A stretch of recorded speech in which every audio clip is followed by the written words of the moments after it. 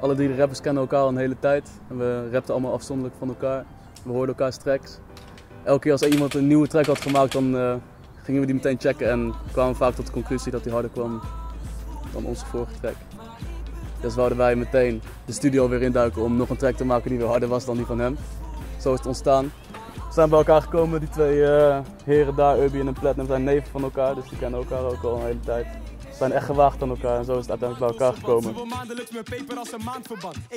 Nou, onze, ons- onze manier, ons muzikale proces is, eh, ik begin bij de beat.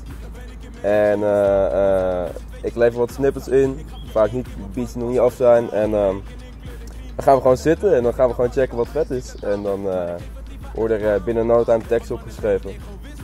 En de ene keer zitten we gewoon met z'n vier in de studio, gaan we een beetje chillen en een beetje muziek maken. En uiteindelijk knallen we een nummer uit. En de andere keer gooi ik gewoon beats op de mail, zij er wat van, is het sowieso dope. En dan hoor ik het wel weer en dan is het gewoon helemaal vet.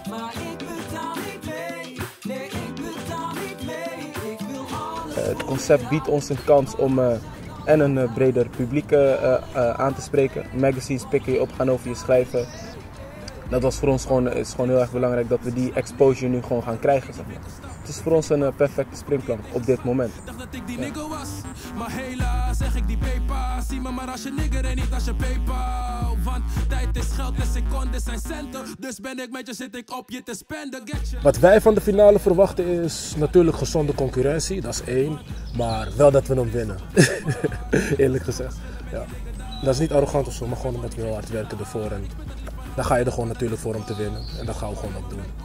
Maar verwacht niet dat ik voor je ben, oké? Ik wil alles voor je halen, alles voor je halen. Maar